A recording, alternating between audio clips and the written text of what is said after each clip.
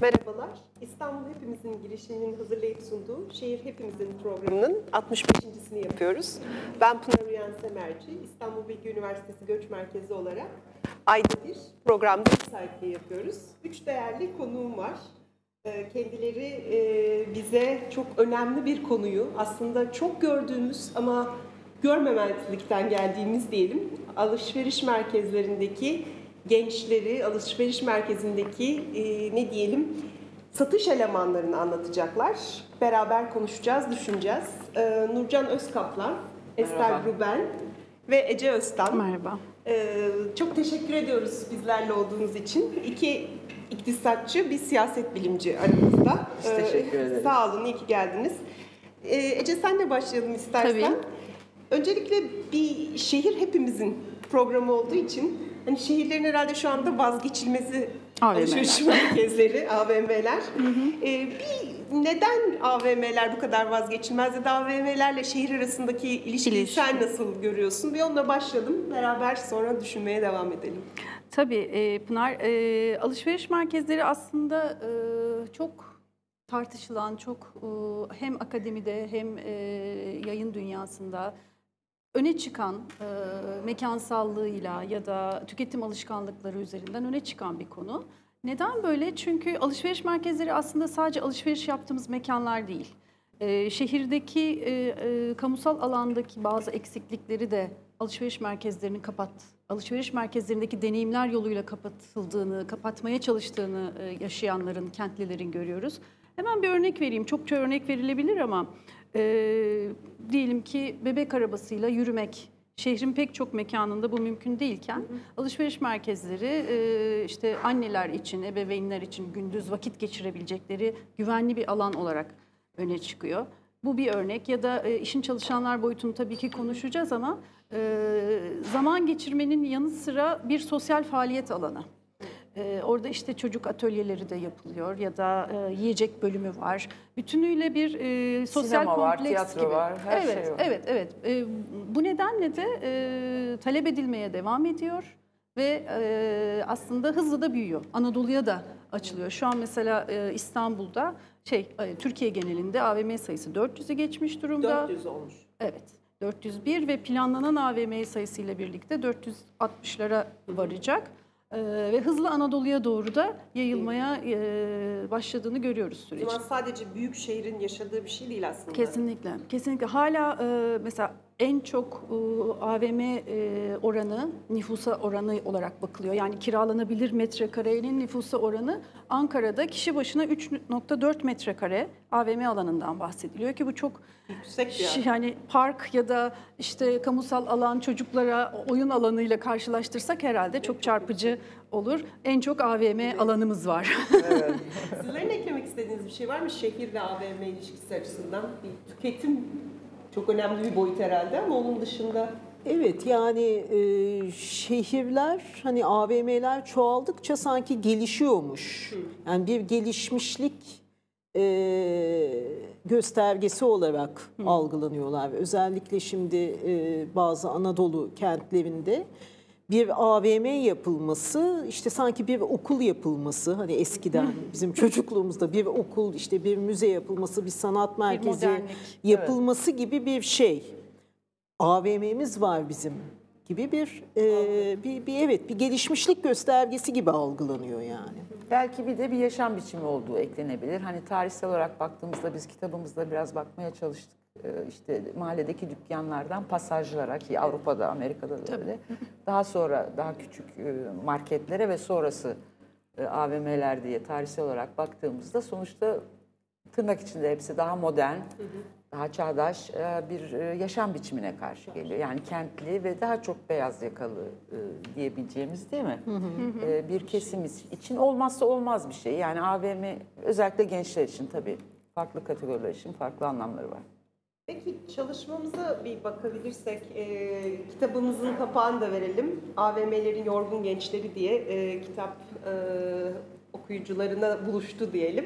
Çok kısa olarak araştırmayı biraz anlatabilir misin Ece? Yani neydi, Tabii. nasıl bir araştırma, nasıl bir motivasyonla yola çıktınız? Aslında ilk motivasyonla başlayayım Pınar. Ee, motivasyon e, şuydu. Başlangıçta biz kadın emeğiyle ilgili bir araştırma yapmak üzere yola çıktık. Dünya Bankası'nın bir çağrısı vardı. Kadınların ekonomik fırsatlara erişimlerinin arttırılması projeleri, bir dizi projenin bir parçasıydı. Alışveriş merkezleri bizim ilgimizi çekti çünkü e, kadın yoğun bir emek olarak başladık. Yani böyle olduğunu düşünerek başladık ama araştırma sonucunda e, dengeli yani en azından sayısal olarak baktığımızda kadın erkek dengesinin e, yarı yarıya olduğu zaman baştaki kurgu daha kadın emeğinin fazla bulacağı. Evet, evet. Çünkü kadınlar için güvenli ve e, aslında güvenceli e, istihdam alanları olarak AVM'lerin ne tür problemleri var, mağazacılığın ne tür problemleri var buna bakmak istemiştik. Nasıl bunu kadınlar için daha kalıcı bir kariyer yolu haline getirmek mümkün? Çünkü çarpıcı e, şeyler öğrendik araştırma sürecinde. E, baştaki algılarımız da epey değişti. Çünkü şöyle bir şey, çalışanlarla ilgili herhangi bir veri yoktu. İşte bazı evet çok ilginç çünkü e, organize parakende sektörü yani alışveriş merkezlerinin de içinde yer aldığı organize parakende sektörü hakikaten çok organize, örgütlü ve e, nasıl diyeyim e, bir zincir halinde çıkar e, silsilesinde bütün hani aktörlerin, oyuncuların çıkarlarının korunduğu e, sıkı bir örgütlenmeye sahip yıllık düzenli konferansları, e, işte dernekleri, Bu böyle bir yapı. için diyorsun. İşverenleri ve yatırımcılar, ma- mağazalar, markacı, markalar. Fakat çalışanlara gelince ne sayılar ortada var. Bir takım e, sayılar var ama çok genel. Tahmin. Tahmini, O zaman evet. araştırmanın evrenini bilmiyoruz aslında. Evet. Yani öyle bir Evet. Kesinlikle öyle. Ee, sadece bir e, insan kaynakları sitesinden bazı veriler almıştık. İşte Secret TV'nin bazı anketleri vardı. Orada da şunu biliyorduk. Pardon 2 milyon olduğu tahmin ediliyor. Evet, böyle tah- bir tahmin. Tahmin ama. Böyle raporlarda geçen bir sayıdan ibaret sadece. Kimler, yaş grupları kim, istekleri kim, meslek. Çünkü bir de şöyle bir sorundan bahsediliyor. Niye bu iş meslek olarak görünmüyor? Yani yatırımcılar ya da markalarda böyle bir dertten muzdarip. Yani bunun bir meslek olarak görünmediği. Meslek olarak görünmemek ne demek? Meslek olarak görünmemek geçişin çok hızlı olması. Yani e, Kalıcı bir kalıcı kariyer. bir kariyer yolu olmaması. e, zaten şimdi onları detaylı konuşuruz. Çalışma koşullarıyla doğrudan ilgili bir şey bu. Yani alışveriş merkezlerinde bugün e, çalışanların çoğu 18-25 yaş ortalamasında. Çok genç bir nüfus. Çok genç bir. Yani 35 yaş arası çalışan oranı yüzde altı. Düşünün ki nasıl bir kariyer yolu olabilsin. Çarpıcı yanı bizi kadın emeğini düşündürten başlangıçta yanı e, kadınların yoğun olarak diğer yönetici gruplara göre aslında göreceli bir şey tabii. e, kadınların yönetici olabildiği bir sektör olması. Yüzde 25 kadın yönetici oranı. Gene tabii ki kadın oranının altında bir yönetici oranı. Fakat diğer sektörlerde o kadar düşük ki kadın yönetici oranı bu bizim ilgimizi çekmişti. Evet yüzde beş yüzde onlara göre yüzde yirmi beş Evet. bayağı yakın. Evet. Böylelikle başladık. Ee, 10 alışveriş merkezinde yürüttük araştırmayı. Ee, İstanbul'da yürüttük. Farklı nitelikteki 10 alışveriş merkezinde. ee, 13 sektörde 130'u aşkın mağazada hem derinlemesine görüşmeler yaptık hem de anketler yaptık. Ee, Üç kişilik bir araştırma ekibiydik. İki de araştırma asistanımız vardı. Esra Güleç ve Nermin Kılıç. Ee, 2014'ün e, Mart ayında başladı. 2015 de bitti 16 aylık bir e, zorlu saha süreciydi. E, böyle bir motivasyonla başladı. E, bunun dışında görüşmeler dışında sektör temsilcileriyle, insan kaynakları yöneticileriyle, e, organize parakende sektörünün aktörleriyle de aslında görüşmeler yaptık. Yani sadece Saha- çalışanlarla değil. ya evet evet. Çünkü sahaya girmek için böyle bir şey e, gerekliydi. Alışveriş merkezleri araştırma yapmanın çok zor olduğu alanlar. Yani e, izin alma. hem izin süreçleri hem de çalışanların yoğun iş temposu. Şimdi bahsedeceğiz nasıl bir yoğunluk o yoğunluk. Hani asosyal çalışma e, koşullarının bütün e, niteliklerini içeriyor. O zaman sizle çalışacak, sizle görüşecek kadar ara, ara veremiyorlardı. size. Aynen öyle. Tabii, o onun- anlamda zorluklarını yaşadık zaten. değil mi? Çok şanslıydık yani. Çalışma koşullarını o zaman biraz belki açabiliriz. Tabii. e, şimdi hepimizin bildiği gibi AVM'ler sabah 10'da açılıyor, akşam 10'da kapanıyor.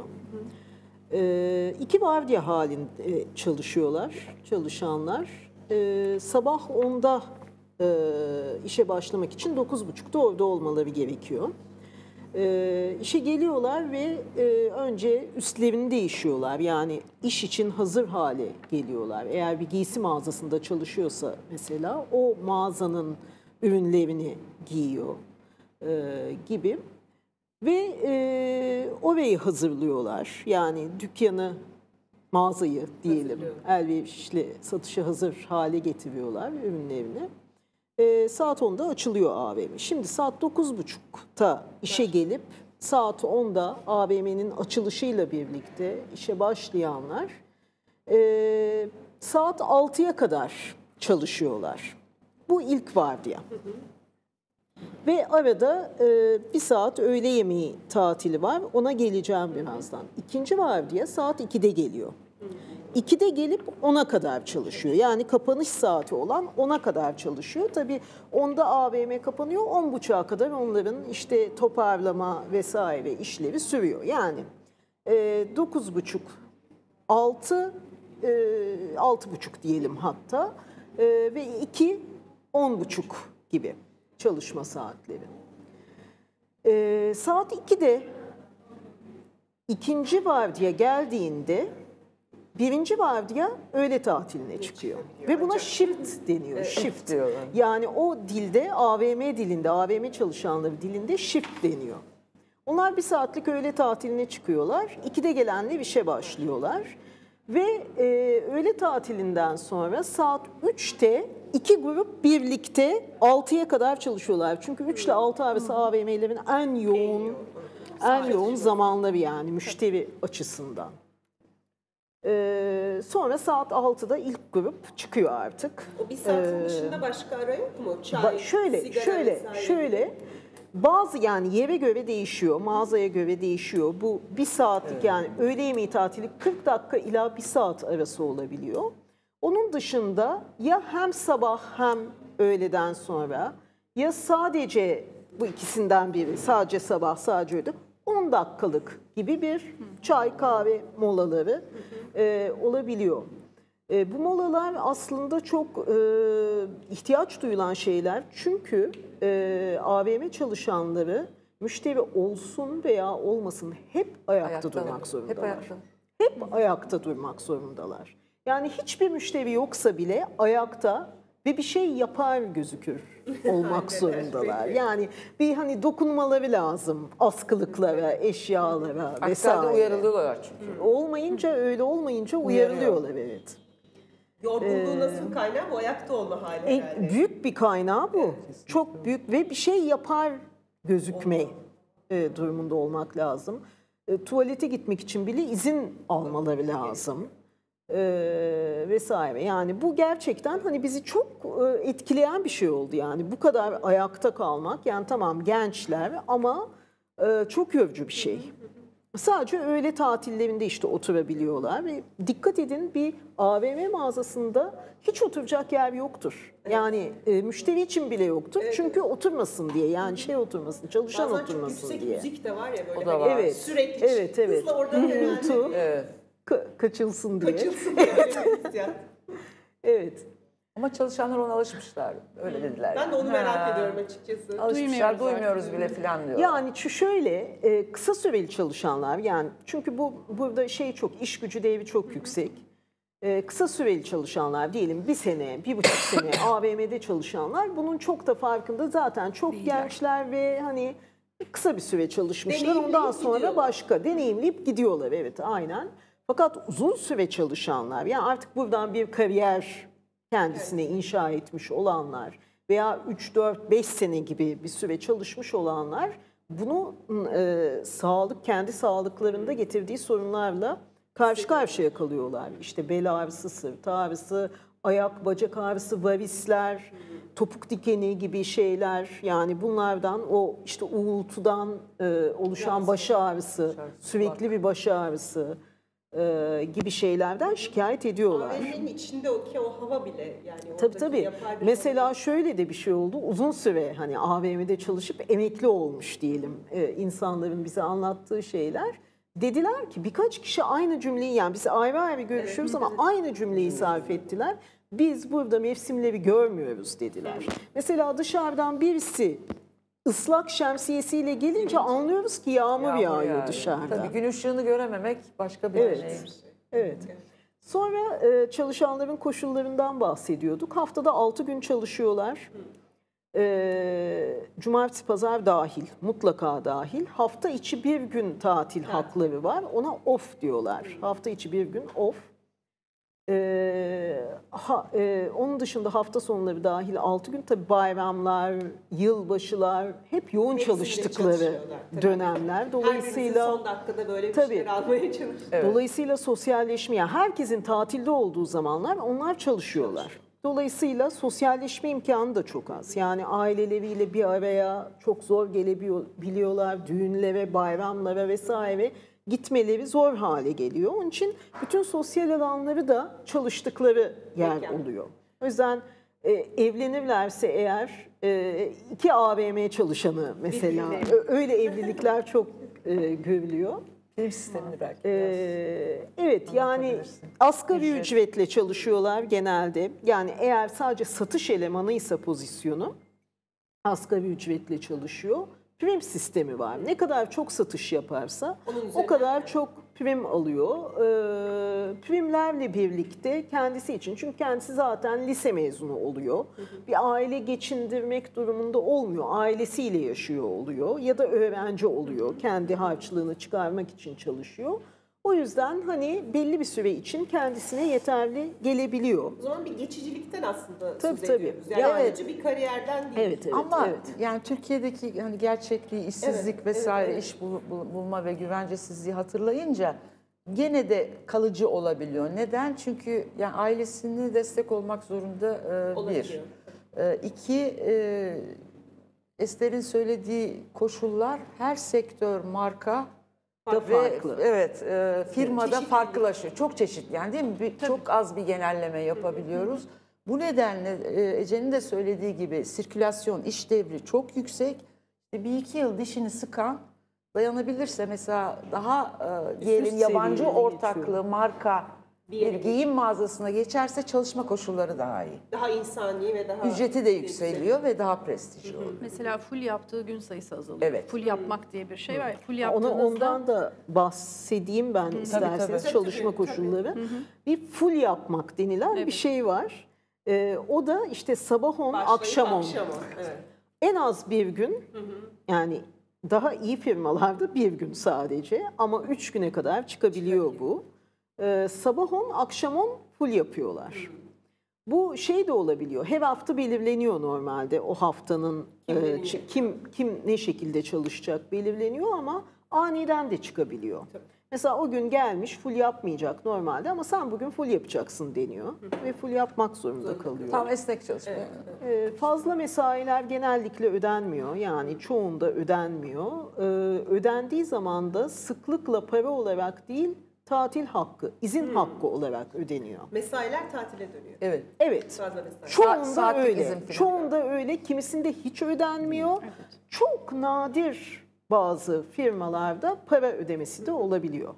Mesai Şeyi olarak yani. okuduğumda yani çalışmayı okuduğumda aslında Türkiye'deki enformalliğin yaygınlığı karşısında karşılaştırınca burada bayağı ciddi bir sigorta Evet, bahsediyoruz. tabii, mi? tabii, Onu tabii. belki biraz söylemek. Sigortalı olması önemli çünkü yani Türkiye'deki genel işte istihdam ve işsizlik Politikaları. politikaları, mevcut koşullar düşünüldüğünde yani e, sigortasız çalışma oranlarının işte kadınlarda daha yüksek olmak üzere yüzde otuz diyelim değil mi Ece? Yüzde otuz, yüzde kırklarda oldu. Sektörel olarak değişiyor ama bir ortamda bir de yani lise mezunu gencecik e, çocuklar için biraz sonra anlatacağımız anlamda prestiji de olan e, işselleştirebildikleri sigortalı bir iş tabii ki e, büyük bir olanak. E, o anlamda önemli. Peki şeyi düşündüm ben okurken yani tezgahtardan satış elemanına böyle bir geçiş öyküsü görüyoruz. Tabii ki şu an yine tezgahtarlar var ya da esnafın yanında e, mahalle düzeyindeki mağazalarda Var, çalışanlar hala var. Ama bu işte satış elemanına geçmek, dönüşmenin bunun özgünlüğü, Bunu Ece farklılığı anlatsın. bilmiyorum nasıl e, formüle ediyorsunuz siz? Şimdi e, satış danışman kendilerine tezgahtar denmesine e, yani tezgahtar biz şeyi fark ettik görüşmelerde negatif e, şey algılanıyor. çağrışımı olan Yani şey, modern değil çalışan. en Modern azından. değil. Peki. Halbuki aslında biz o emek süreçlerini incelerken tezgahtarlıktan dönüşü e, en çok dikkatimizi çeken oradaki daha diyelim ki e, insani ilişkiler, oturabilmek, yemek yiyebilmek, Zaman kullanımı zaman belki. kullanımı ya da dışarısıyla Sokağa çıkıp Evet, mahalleyle hava almak, ilişki sigara e, içmek, tabii. bu. Buna rağmen tezgahtarlık olumsuz. Hayır biz tezgahtar değiliz. Sanki tezgahtar kelimesi aşağı bir kelime ama satış danışmanı bir markanın, bir kurumun temsilcisi olmak. Şimdi bu satış danışmanlarının, temsil, satış temsilcilerinin kendi kişiliklerini işinin bir parçası kılma süreçleriyle çok ilgili. Nurcan oralara değinecektir belki. e, çünkü bu emek sürecinin özgün bir parçası o. Pek çok iş kolunda da karşımıza çıkan. Evet yoksa çünkü bu çalışma koşullarına e, dayanmak çok mümkün değil. yani. İki şey var. Bir bu öznelliğin kurulması meselesi. Neoliberal girişimci öznellik. Biz işte böyleyiz. Biz marka olarak bunları severiz. O kurumsal aidiyetin bir parçası olmak, havalı bir mekanda çalışıyor olmak. Bu kelimeler özellikle evet derinlemesine görüşmelerde Evet. çıkan e, şeyler olduğu için havalı bir mekanda çalışmak, güvenli bir mekanda çalışmak. Yani e, en azından kapıda bir güvenliğin olduğu. Yoksa birçok yere göre Tabii yoksa taciz vakaları, anlatıları çok çıktı. O ayrı ama e, ailelerin kolayca gönderebileceği bir mekan olması. Evet. Gece çünkü çalışıyorsunuz ama kapalı bir mekan. Yani biraz daha mahrem, ev gibi kapalı, korunaklı. korunaklı bir Korunaklı. kale. Bu özellikle genç kadınların çalışmasını bence kolaylaştıran, bizce kolaylaştıran bir şey. Ama profil tabii. Bunu e, işin bu satış ve emek kısmıyla ilgili boyutu ama işin demografisine baktığımızda şöyle söyleyeyim. 18-25 yaş arası çalışan oranı %56. E, 35 yaş üzerinde çalışan oranı %6 sadece. Çok az. Çok az. Yani birkaç Toplamda markada. 400 müydü? Anket sayımız mı? 404 anketti. Ee, ama zaten TÜİK'in bu organize perakende sektöründeki yaş Onunla kırılımına da baktığımızda. baktığımızda Benzer bir şey. sadece AVM değil tabii ki o bütün organize perakende sektörünü içeriyor ama orada da yaş ortalaması çok düşük. AVM'lerde özellikle Daha da. daha da düşük. Bence hani o emek sürecini yaratan, o geçiciliği, o e, bugün var yarın yokuz onu özellikle vurgulamak istiyorum. Çok çarpıcıydı e, çünkü e, karşılaştığımızda ilk daha sahaya girerken ben hani nasıl konuşabiliriz, acaba hangi aralarda konuşabiliriz diye mağazalarda böyle yavaş yavaş sormaya başlamıştım. Ön araştırma Ön araştırma. Bir satış danışmanının söylediği çok hala yankılanır kulağımızda ve onu kitapta da kullandık. Ee, bizi mi araştıracaksınız? Biz buradaki yerdeki e, halı, masadaki kasa gibi bir şeyiz dedi. O zaman çok anlamamıştım ne demek istediğini. Ama araştırmayı tamamladığımız süreçte o değersizlik hissi. Yani e, bütün o duygusal Ya da emek metalaşma. süreç, metalaşma. Hanım bir dışa vurumu. Ve de şey Evet. yani neden ki biz biz araştırılacak bir şey değiliz. Bugün varız, yarın yokuz. Yokuz. Evet. Bir de geçicilik. Geçici. Yani hem değersizlik hissinin yansımasıydı hem de geçiciliğin çünkü e, biz bir görüşmeciyle ikinci görüşmeyi bazen aynı mağazada yapamadık. Değiştir iş değiştirmişti. O, kadar hızlı. o kadar hızlı yani ankette e, Anketle görüşme arası yani birkaç Başka bir- hafta sonuçta Evet. başka bir AVM'ye geçmişti ya da Ama işte pardon gene de unutmadan e, mülakatta gelen e, AVM çalışan arkadaşlarımıza çok teşekkür ederim. Evet, Çünkü evet. biz anketin arkasına e-mail adresimizi yazdık hani telefonumuzu mülakatı kabul eder misiniz diye çok sayıda değil mi geldi Tabii tabii ve onlar olmasa yapamazdık. onlar olmasa yapamazdık yani vakit ayırdılar bize her Yani halükarda. Geçicilik halinde yine de aslında öykülerini Çok- anlatmak evet, istediler. Evet aynen çok öyle. Kıymetli çok şey. kıymetli. Çok Evet. teşekkür de ama bir yandan şey çelişkili değil mi? Yani hem bu metalaşma ya da önemsizleşme ama bir yandan da öznellik işte o markayı temsil etme ya da başka bir tür yani senin Evet. formüle ettiğin o arasındaki şeyi siz nasıl Yani çelişki gibi e, görülüyor ama değil. Yani şimdi en arka planda bunları konuşmadık ama e, herkesin bildiğini varsayabiliriz. Yani kapitalizm ve ataerkinin ya da patriarkanın bir etkileşimi var. Onun e, bir altında yani çok e, tabakalı bir mesele bu. Biz yani en alttaki iş yerindekine bakmaya çalıştık. Dolayısıyla hepsinin bir yansıması var. Onun altında e, Türkiye'deki çalışma hayatı, onun cinsiyete göre tabakalaşması, işte kadın iş erkek ayrımı gibi iş gücü piyasasının kendine özgü diyelim Dinamikleri var. dinamikleri var. Şimdi bunun da altında hizmet sektörü malum hani bütün toplam istihdamın en çoğunu e, kaplayan Türkiye'de de çok gecikmiş bir şekilde 2013'ten beri anca toplam istihdamın kadın ve erkek yüzde 50'den fazlası e, şey hizmet sektöründe e, bir iş hayatı olarak baktığımızda yani daha alt kademelere geldiğimizde şu ortaya çıkıyor. Literatürde de çok fazla artık araştırılan, bu konuda çok fazla araştırmalar var. Duygusal emek dediğimiz kategori yani yüz yüze çalışmanın, satış işinin kendine has özelliklerinin yarattığı belli kategoriler, belli emek e, kategorileri, biçimleri var. E, şimdi satış işi onu Ece de söyledi, e, Ester de söyledi. Hani sosyal beceri dediğimiz böyle herkeste olan iyi ilişki kurabilme, hele yakışıklı ya da güzelseniz e, daha da artı e, şey puan alabileceğiniz bir iş. Yani öyle acayip bir eğitim gerekmiyor. Ama insani ilişkiler herhalde. Aynen öyle yüz yüze ve e, şey iş yerinde öğreniyorsunuz. Çünkü her iş yerini gene daha önce söylendi ve sektörün ve firmanın ve kurumun kendine özgü e, kurumsal nitelikleri var ve onu yansıtmanızı e, istiyor. Dolayısıyla duygusal e, emekte e, müşteri memnuniyeti ve kurumsal e, kimlik için duyguların kontrolü anlaşılıyor. Yani öfkelenmeyeceksiniz, sinirlenmeyeceksiniz işte. Değil mi? 24 saat ayaktasınız bir off demeyeceksiniz. Aynen öyle. Gülümseyecek. Ama o da yeterli değil. Şimdi e, Langman'ın bir kategorisi var beden denetimi üzerinden. Yani bu iki türlü okunabilir. Bir e, çalışanların e, beden denetimi yani estetik emek ve bir süreç olarak ele aldığımız toplumsal cinsiyetin sınıfla kesişimi anlamında bize çok şey anlatıyor. E, bir de öbür taraftan okursanız o konuya girmeye vaktimiz olmayabilir. Sonuçta satış elemanları ya da çalışanlar, emekçiler e, aktif birer özne. Yani öyle e, şey değiller. Mücadele ediyorlar. Mücadele stratejileri var. O anlamda bu be- beden denetimine yine literatürde çok yaygın olan işte uyum, e, uzlaşma, denge stratejileri, metaforlarıyla direnmeye çalışıyorlar. Dolayısıyla bu sorunuza cevap da oluşturuyor. Peki bu beden denetimi ya da duygusal emek özellikle hani bu kavramlara biraz daha yabancı olan dinleyicilerimiz, izleyicilerimiz varsa bir açıklayabilir miyiz? Çünkü aslında belki birçoğumuz da böyle şeyleri Bildiğimiz yaşıyoruz. tabii şeyler ve yaşıyoruz. Hani feminist literatürde kategorize edildiği kadarıyla duygusal emek ta ev içinden kadınların Başlayan. görünmeyen emeğinden başlayıp çünkü feminist teoride biliyorsunuz ev içi görünmeyen emekle çalışma hayatındaki katmanlaşma ve cinsiyetçilik arasında bir bağlantı vardır. Yani süreklilik vardır. Ee, bakım emeği bunun çok özel bir alt kategorisidir. Ee, duygusal emek de duyguları kontrol etme. Ne için? Metalaşmış bir emek bu iş yerinde metalaşmış bir emek. O firmanın çıkarı için. Nedir firmanın çıkarı değil mi? Daha çok satmak, müşteriyi Memnun etmek. Artı ama o yeterli değil daha çok satmak. Şimdi işte estetik emeğe geliyoruz. Yani bu kategori bize bir Bu yetmiyor. Bunun yetmiyor.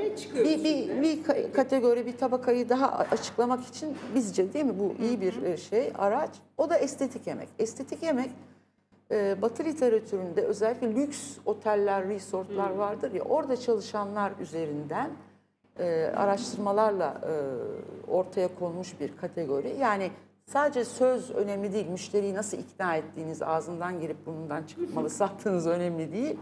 Bedeniniz, giydiğiniz kıyafet, tutum, davranış, jestler ve Görüntü ve bütün jest jestler ve ritüeller. Ritüeller çok önemli. İşte orada sınıfsal şey, katmanlaşma giriyor. Ritüel yani e, hep söylediğimiz gibi her sektörün yani giyim, kadın giyim, erkek giyim, ayakkabı, oyuncak, kozmetik. Kozmetik. hepsi birbirinden farklı ritüelleri var ya da oradaki markaların yerliyse farklı, yabancı ortaklıysa, lüksse, işte departman store'sa yani çok katmanlaşma var. Ayrıca Mağaza türü de önemli. cinsine göre de. Yani Aynen lüks öyle. tüketim yani giyim olup e, hızlı moda dediğimiz daha hani ucuz ve e, Hızlı moda ne demek? Hızlı moda e, ürün sirkülasyonunun çok, Çok. yüksek olduğu ve daha ucuza yani e, nasıl söyleyeyim haftada bir stoğun değiştiği, modellerin değiştiği, çeşitlendiği ama hani giysi ve kumaş kalitesi açısından e, daha Mesela Zara eğer Evet, şey hı hı. söylemek sakıncalı değilse yani mesela Zara bir örnek. evet H&M, Zara, H&M. Gibi hızlı mağaza. değişen. Hızlı moda. LCY2, E, evet. Ve burada şey de emek süreçleri de farklı. Yani orada biri gelip size size bu yakışmış deyip öneri getirmez. Daha böyle market Hızla alıyorsunuz. Hızla alıyorsunuz. Tüketici de onu hızla giyer. Belki üç giyimden sonra atar. Onu üretimi de öyledir. Yani üretimine biz bakmadık tabii ama o bir zincir. Yani üretim zincirlerinden başlayan ve tüketimde de Tüketimde de- bir Aynen. şeyler. Ve de çalışan ilişkisini de etkileyen bir hız bu. Yani oradaki çalışanların da çünkü oralar genelde e, yani O zaman orada satış danışmanlığı yapılmıyor aslında daha çok. Hızla bir tüketime Evet, araçsal evet, bir şey. Ama mesela bir lüks tüketim ya da e, daha diyelim bir erkek giyim çok farklı dinamiklere sahip. Erkek giyim, takım elbise orada yaş ortalaması da değişiyor. Sirkülasyon da azalıyor. İlginç yani e, bize göre en çarpıcı verilerden biri de buydu. sattığınız metayla emek süreçleri arasında bir bağlantı olması. İşte onun herhalde İşte estetik emek o. Yani bile yansıması. aynen yani anlatırken sadece bile, aynen. e, Ece'nin vücudu değişti. vücudu işte değişti. evet. Yani Ee, bir e, yani konuştuğumuz e, satış elemanlarından birinin verdiği bir örnek yani şimdiye kadar hiç gelmemişti. Şimdi Nurcan anlatırken estetik Aklıma emek geldi. üzerine e, konuşurken aklıma geldi ve bana çok akılda kalıcı ve çok çarpıcı geldi. O yüzden paylaşmak istiyorum burada. Mesela bir tane görüşmecim demişti ki ben demişti ilk başladığımda daha önce de bir sokak mağazasında çalışmış. AVM'ye geçtiğinde iyi bir, bir e, kadın girdi içeri müşteri olarak dedi. Ben alışkanlıkla yani hem kendi muhitimdeki alışkanlıkla hem sokak mağazalığının alışkanlığıyla buyur ablacığım dedim dedi. Şimdi hemen dedi satış müdürü benim yanıma geldi daha Düzeltti sonra. onu. Sen ne diyorsun dedi. Buyur ablacığım falan denmez bana dedi. Burası bir AVM. AVM'de buyur Buyurun hanımefendi diyeceksin dedi. Yani bu mesela hani bir Evet, dil. Hani AVM'nin kendine özgü de bir dili var. başka bir örnekte belki vakit varsa söyleyeyim. Estetik emekle ilgili yani sadece müşteriyi memnun etmek değil o kurumsal kimliği kim, kimse o firma ya da kurum e, onu başarıyla te- temsil etmek. Çünkü her marka ya da mağazanın biliyorsunuz bir ambiyansı var, bir kimliği var. Yani içeri girdiğiniz zaman filan. Onu yansıtmak için de o giysiyi hemen hemen giyiniyor çalışan ve şöyle oluyor. Öbür tarafı da e, çalışanların, emekçilerin e, baş etme stratejileri dedim ya iki taraflı okumak mümkün. O da şöyle yapıyor mesela. Ester söyleyince benim aklıma geldi. E, şeyde e, kozmetik mağazasındaydı. E, şey e, müşteriyi misafiri gibi görmek Ağırlıyormuş. a- ağırlıyormuşçasına. Dolayısıyla o o işin çalışma koşullarının ağırlığı ve özellikle kozmetikte estetik emek görünüm çok önemlidir biliyorsunuz. Hani onunla baş edebilmesinde biraz daha içselleştirmesinde e, yardımcı, Yardımcı olur. Yani öznellik dediğimizde aslında bir tür düzenleme Tabii. ama e, şey uyum sağlayarak o işi yürütmesini sağlayan bir öznellik. Aslında çok keyifli gidiyor çünkü bir yandan da çok e, hayatımızın bir parçası ama pek de görmüyoruz. Herhalde Tabii. o mağazanın bir parçası gibi mi algılamak? Yani o görülür görülmezlik nasıl ifade ediyorsunuz bilmiyorum. Sizin Evet, tam da o aslında. Tam o işte. halı gibi buradaki kasa gibi bir şey izlerkendeki görülmezlik o işte. Yani müşterilerin de görmediği bir şey. Yani metaya orada ön ön planda olan meta. Gene kozmetikle ilgili bir örnek vereyim. Estetik emek Nurcan'ın ve Ester'in söyledikleriyle de çok bağlantılı bir örnek bu. Estetik emek sadece mimik, jest değil. Aslında sınıf o sınıfı da giyinmek. O sınıfın ritüellerini de O giyinmek. sınıfa ait olmasan bile o iş Evet, çerçevesinde. kesinlikle. Kozmetikten bir örnek vereyim. Hep merak etmişimdir. O kadar pahalı ürünleri satan kişilerin hani maaş belki de maaşları kadar işte 2-3 kremin fiyatı onların Tabii. maaşları maaş. kadar. Tabii, tabii. Bununla baş etmek nasıl mümkün? Çünkü bunu övmek ve onu satmak zorundasınız bir yanıyla. Burada şöyle bir şey var. Yani o estetik emek orada devreye giriyor. Onu o kadar benimsiyor ki çünkü testerlarını kullanıyor. Onu artık yaşam fiyatından bağımsız olarak kendi de kullandığı bir şey haline dönüştürüyor marka. Ürünleri kullanıyor ya da Aslında bu kozmetikte değil. de Kesinlikle. Evet. Kesinlikle. Mesela Arkadaşlarına tavsiye ediyorum. Giyim mağazasıysa e, öncelikli bazı indirim hakları oluyor. Hmm. İşte eşine dostuna yararlandırabileceği. Bunlar hep şey yani o sınıfın ritüellerini e, giymenin e, bir koşulu. Zorunlu çünkü nasıl satabilirsiniz işte 500 küsür liralık bir parfümü ya da bir e, kremi değil mi? Bunun ve bunun ihtiyaç olduğuna nasıl ikna Evet. edebilirsiniz? Kendiniz asgari Şimdi ücret asgari ücretle çalışırken. Bu Evet. bunu açıkla açıklamış olduk. Bunu anlamış olduk aslında değil mi? Yani e, bütün o ritüelin parçası haline geliyor ve bir görüşmecimiz şey demişti. Bazen markayı o kadar içselleştir be- benimsiyoruz ki biri bir laf söylese kendi çocuğumuza, ailemizden birine bir şey söylemiş gibi onu savunmak ihtiyacını Kimliğin bir hissediyoruz. parçası haline Evet, evet. Bu bu Evet. önemli bir şey yani. Tam estetik emek tam herhalde biraz böyle bir şey.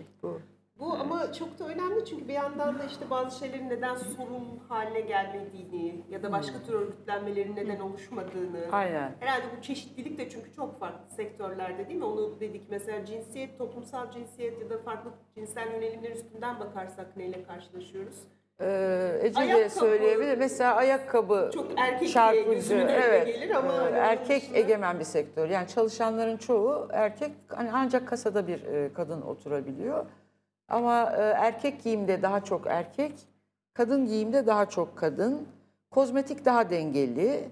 Ee, ve e, cinsel yönelim olarak gay ya da trans e, bireylerin çalışabildiği bir sektör olarak görünüyor. Çalışabildiği diyorum çünkü yani Türkiye'deki mevcut e, zorlukların farkındayız. O anlamda e, Çok söylüyorum. ilginç aslında. Çünkü Evet, ama başka işte- benzer bir sektör neresi var? Ee, Bunu açık olarak açık olarak yaşayabildiğiniz yer pek yok herhalde. Yok, moda olabilir. Onu Yani mo- bilmiyorum. moda evet o da Ama biz şunu gördük tabii toplumsal cinsiyet bir kimlik değil bir süreç. Ve işte bu sınıfla ve özellikle yaşla, Yaş, yaşı yaşla çok söylemedik. evet. Çok kesişimi var, çok tabakalaşması var. Dolayısıyla hem ürünün satımı yani o kar maksimizasyonu garanti etmesi hem müşteri memnuniyeti artı o kurumun, o şirketin e, kimliğinin, öznelliğinin bir parçası olacak şekilde toplumsal cinsiyet rolleri yeniden yeniden üretiliyor. Yani esnek. Evet, Duruma o göre da, o da o rolün bir parçası, Parçası. olarak o yaşta aynen öyle. yaşında Aynen öyle. Hani biz o, onu yapamadık ama hani birileri araştırırsa metalaşmış oluyor hem duygusal emek hem estetik emek ama bence maaş olarak onu ödemiyorlar. Kesinlikle ödemiyorlar. Evet, o Hem bir işin parçası. kimlik. Netleşmiş de oluyor. Yani Aynen. bazı sektörlerde çok belirgin bir şekilde görüşmecilerimiz e, işte gay ağırlıklıdır bizim sektör. Bunu tercih eder Diye mağazalar övünüyor. diye bunu söylüyorlar. Hatta şöyle anlatılar var. İşin e, tanımına girmiş bir şey. Çünkü onlar çok e, uysal.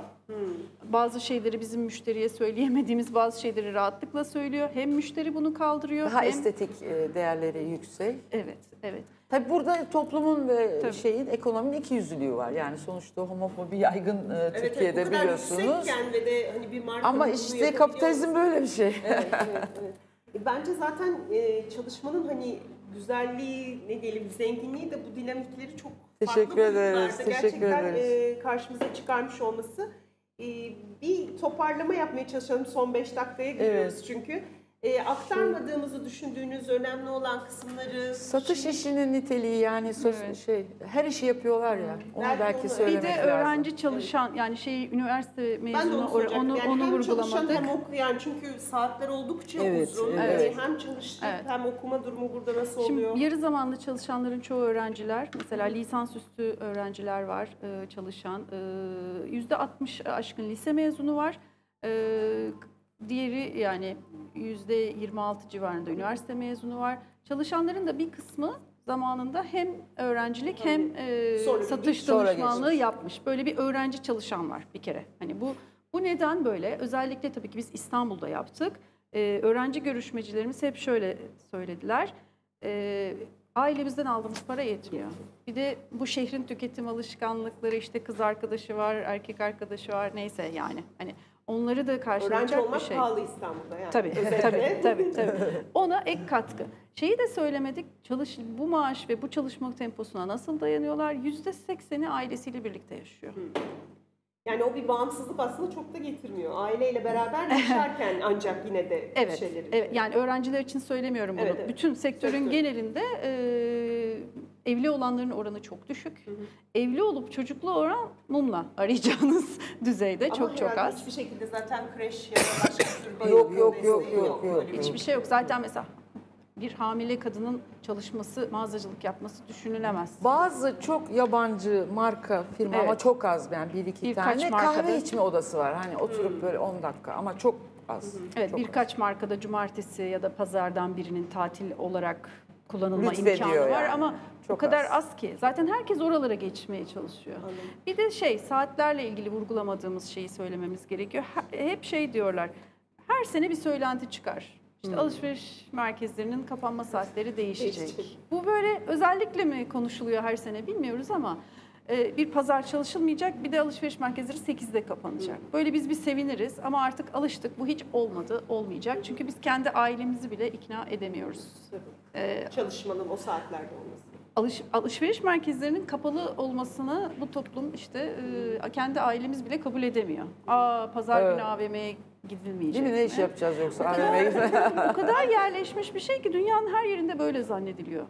Yani dünyanın her yerinde sanki ona kadar bir de alışveriş geceleri var, çılgın alışveriş akşamları Shopping bazen. festler shopping var. festler hiç, hiç onlardan bahsetmedik. Yani 24 saat ekonomi ve hani çalışanın adının geçmediği örgütsüz tümüyle, sendikanın adını bilmeyen, sendika ne demek bilmeyen değil mi Evet. Nurcan? Tabii tabii. Görüşmecilerimiz İkinci var. görüşmecimiz e, o da gıda sektöründeydi. Bizim daha Deneyim. az baktığımız e, deneyimi olmuş. Tabii ki işten atılmış.